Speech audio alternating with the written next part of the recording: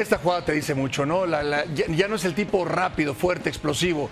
Ya es un tipo que piensa antes de que reciba la pelota. Buen ya es punto. un tipo que piensa distinto a los demás. Esa es una genialidad. Sí, 11 goles decisivos de Benzema para igualar o dar ventaja en el marcador en liga para el Real Madrid, contribuyendo para 16 puntos.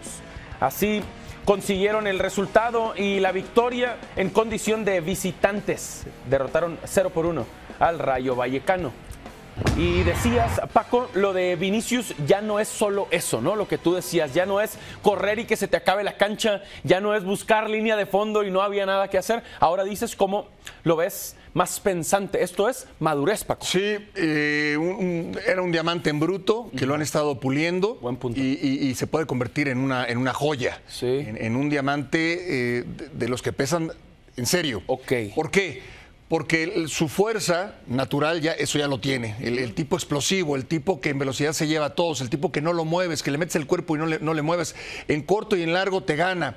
El tipo que define cada vez mejor, pero además ahora se vuelve un mejor futbolista. Claro. Es un tipo que piensa, a ver, me sale el arquero, no le voy a estrellar el balón. Toco. Se la toco a Benzema, que sé que va a aparecer. Eh, Eso lo hacen muy pocos. Buen punto eso. Hablabas de un diamante en bruto, de un jugador de peso. ¿Qué tanto peso, Paco, crees que podría tener Vinicius a largo plazo en su carrera? No, no. ¿Top mundial? No, muchísimo, claro. Sí. Muchísimo. Primero porque tiene cualidades físicas distintas a los demás. Eso ya en el fútbol marca diferencia. Bueno, en cualquier deporte. Con la pelota lo sabe hacer. Con la pelota eh, es un tipo que, bueno, se desmarca bien, es un tipo que cuando tiene la pelota eh, tiene la, la portería marcada, la tiene perfectamente en el radar, sabe dónde está la portería y además ahora hace cosas distintas con la pelota. Además ahora ya el tipo te da un servicio como el que le acaba de dar a Benzema. Entiendo. ¿no? Entonces ya es un jugador distinto, ya es un jugador diferente. Si lo respetan las lesiones, por supuesto que Vinicius va a estar en el top 5 muy pronto. Ok, eso me gusta, muy pronto además. Y ya sabemos cuánto eh, siempre aparece Benzema, es definitivo, justo íbamos con la estadística, en los puntos que le ha dado a través de sus goles o de sus asistencias, porque es un jugador muy completo al Real Madrid, ese es de clase mundial y ahí ha estado ya hace mucho tiempo. ¿Qué tan preocupado debería estar el Madrid? Ancelotti específicamente, Paco, porque mientras platicábamos decíamos 0 por 0 al descanso. Al Madrid le está costando ganar los partidos. Hoy consigue el resultado hasta el minuto, minuto 83. Así ¿Qué ves del funcionamiento? Igual. Sí, ¿verdad? Así ha sido el Real Madrid. Exacto. Así ha sido. No es de que al principio goleaba, avasallaba al rival y ahora se está quedando corto o apenas le alcanza, ¿no? Eh, ese ha sido el Real Madrid de esta temporada. Así. Claro, hay diferencia con el Rayo Vallecano y el Paris Saint Germain.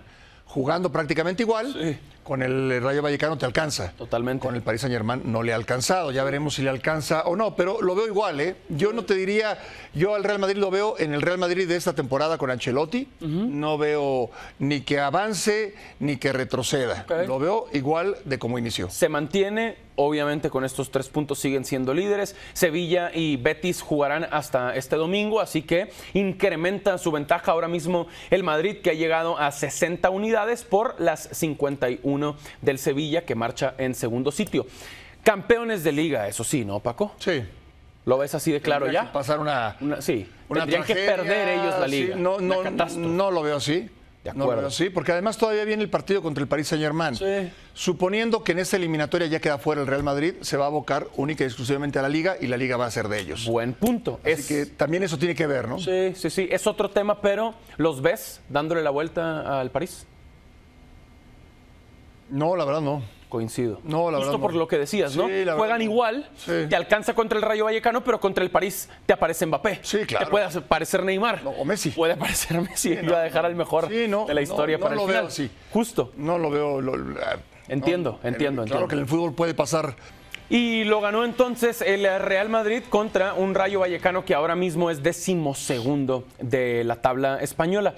El gol de Benzema, lo importante que ha sido, Paco, es para ti el mejor o es Courtois del Madrid. No, Courtois. Sí, ¿no? En este momento, Courtois. Exactamente. Sí, Benzema, tu ausencia, alguna lesión. eh, Benzema es Benzema, no, pero No hay duda. Courtois es extraordinario, te ataja penales, te salva en la raya, Sí. eh, eh, marca diferencia. No, no, Courtois y, y los demás. ¿no? Claro, pero sí está eh, Benzema, Paco, obviamente hace mucho tiempo en la conversación de los mejores delanteros del mundo.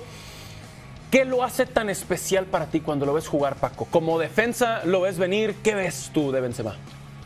Es que eh, precisamente que no sabes qué va a hacer. Buen punto. Que no sabes qué va a hacer. Hay, hay jugadores que te ganan por velocidad, pero ya sabes que es por velocidad. Sí. Hay jugadores que te ganan compitiendo por alto.